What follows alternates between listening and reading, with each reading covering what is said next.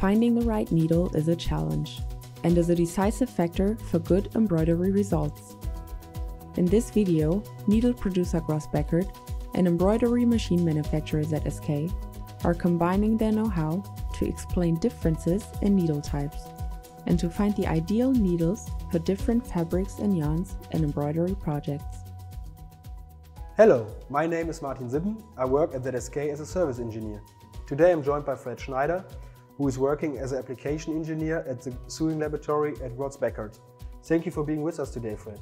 Thank you very much, Martin. I'm very happy to be here and I will try to explain some important needle aspects to our customers together with you. Let's start with the needle packaging. The label on the needle packaging gives a lot of information about the needle. But many customers do not know what all these letters and numbers mean. Fred, what can you tell us about the needle packaging? Yes, indeed. There is a lot to learn about it. I will focus on the three main details which are important for our customers. At first, we have the needle system. That is the name of the needle, and in this case, it's DBXK5, which is a common needle system for embroidery machines. Then we have on the right top corner the needle size. And that is indicated in the number metric system, NM, and also in a numbering system. And the numbering system is preferably used in the Asian markets. And then we have the point star, which is on the left bottom corner. And in this case, we have the FFG point. But of course, there are many more informations on our package, like material number or the production lot number, and then we have our data matrix code. And with the data matrix code, our customer can check if this is an original Groz-Beckert product. But of course, there are some more information, and I don't want to go too deep into details.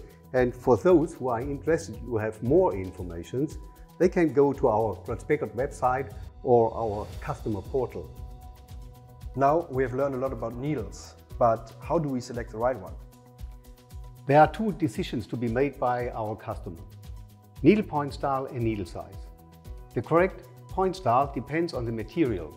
Do you have knitwear fabrics like polos or t-shirts or do you have woven fabrics like shirts and blouses?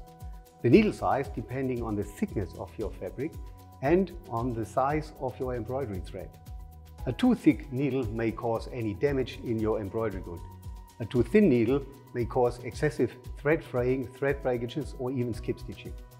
From our experience, a needle size range of NM65 to NM75 is most suitable for knitted goods like t-shirts and also for woven fabrics like shirts.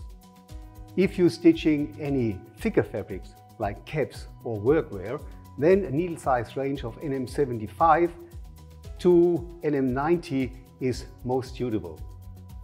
We often hear about needle points like FFG, R and RG. So can you explain us the differences? Sure. Let me explain the three most common used needle point style for single and multi-head embroidery machines.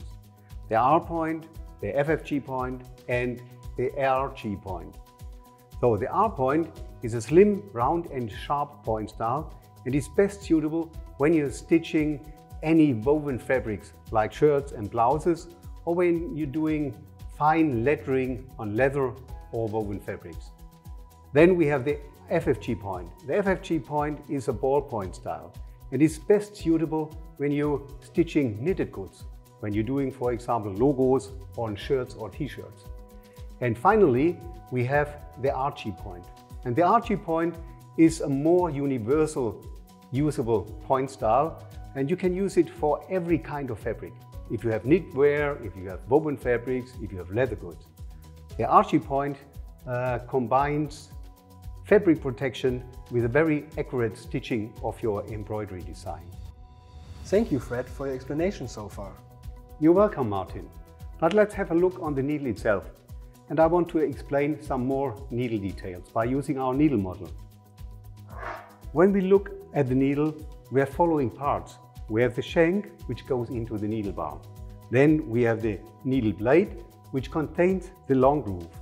And the long groove is a channel to protect the embroidery thread while the needle is penetrating through the fabric. And then on the opposite side of the long groove, we have the scarf. And the scarf is an area where the rotary hook is picking up the embroidery thread from the needle. Then of course we have the needle eye and the tip. But now we have talked a lot about the needle. And now it comes to your turn how to insert the needle into the machine. Maybe you can help us and what to consider. Of course, let's go over to the machine.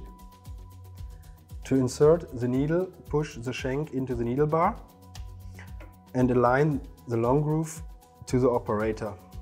For that, you can use a magnet to see if it's straight. If it's straight to the operator, you can tight the screw and the needle is inserted correctly. Thank you, Martin. That was very helpful. It was a pleasure to have you here, Fred. If you want to have more information about the embroidery needle, visit the Groz-Beckert website or their customer portal. If you want to have more information about the embroidery machines, visit the ZSK website or our YouTube channel. And for your next embroidery job, remember the importance of the needle.